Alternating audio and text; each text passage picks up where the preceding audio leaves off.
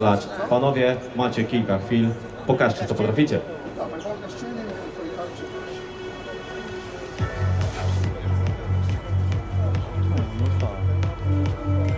Mówiliśmy o Piotrku Golono jako zawodniku, który dopiero pokazuje swoje prawdziwe oblicze w klatce. Doskonale wszyscy fani sportu walki wiedzą, jakie są możliwości Krystiana Bielskiego. Ten knockout na Tomku Skrzypku sprzed roku to jest naprawdę coś, co jest kwintesencją sportu walki. Opanowanie, spokój na końcu, na końcu widowiskowe skończenie. To wszystko powoduje, to wszystko powoduje, że Krystian Bielski jest przez wiele osób stawiany w roli faworyta przed pojedynkiem na gali FEN 29.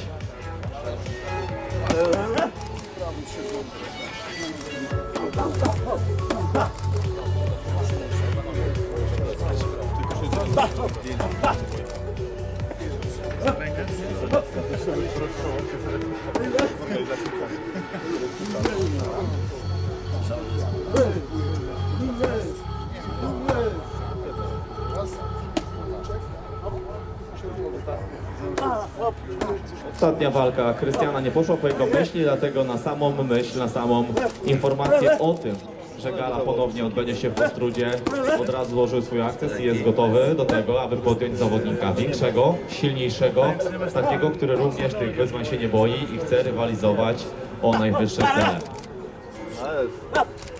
Kategoria. Różnica. Chociaż teraz. Krótko, ale treściwie, tak to miało chyba wyglądać. Krystian Wielski, już powiedziałem dzisiaj, że przypominał sobie ten knockout na Tomku Skrzypku sprzed, sprzed roku tak naprawdę. Troszeczkę wody w rzece upłynęło od tego czasu. Krystian Bielski jest dzisiaj lepszym zawodnikiem, bardziej kompletnym, bardziej doświadczonym, takim, który potrafi wnieść do klatki więcej sportowej jakości. Zobaczycie na walce, e, rozwinąłem się jeszcze bardzo dużo od tamtego momentu. Ja obserwuję wasze social media Rakionu i widzę, że wy tam non stop trenujecie, cały czas mocno podnosicie swój poziom sportowy. No to chyba jedyna, jedyna droga do tego, aby, aby odnosić kolejne zwycięstwa, to są te walki, to są te treningi, te mocne sparingi z zawodnikami, którzy naprawdę są w stanie wiele dobrego pokazać. Czujny jesteś, czujny jak ważka. Tak, ciężka praca to klucz do sukcesu. Krystian mało mówi, dużo robi, to mi się podoba. Dziękujemy za dzisiaj, widzimy się na ceremonii ważenia w piątek przed galą FEN 29.